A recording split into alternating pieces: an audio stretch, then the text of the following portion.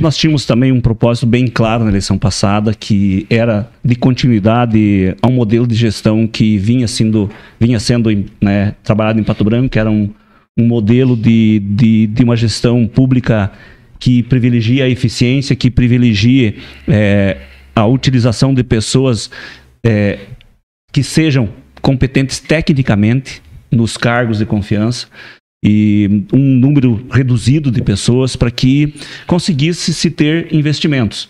Né? E acredito que a gestão do Zuc deixou uma marca muito importante em Pato Branco nos oito anos que ele esteve à frente da prefeitura, que eu tive o privilégio de ser secretário, de implantar parque tecnológico, criação da Invento, né? junto com muitas outras pessoas, é claro. Então, a gente acreditava que aquele, que aquele modelo de gestão é, era o melhor para Pato Branco e que vinha dando muito certo e que nós tínhamos clareza no que nós queríamos para o futuro de Pato Branco. Nós, hoje, eu poderia dizer para vocês que a gente visualizava ter já uma nova prefeitura, um contorno norte pronto, é, teatro, arena, terminal urbano, ou seja, uma série de coisas que nós imaginávamos que eram as nossas propostas de estarem aí já fazendo parte do cotidiano dos patobranquenses.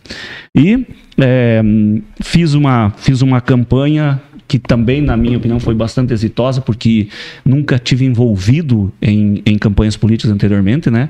E fiz 16.558 votos, fiz quase 38% dos votos, ou seja, foi uma votação bem expressiva, perdi por 3 mil e tantos votos, e a gente acredita que aquele projeto de visão de futuro ele se perdeu nesse, nesse, nesses três, últimos três anos. Esse corte é um oferecimento da Publi TV.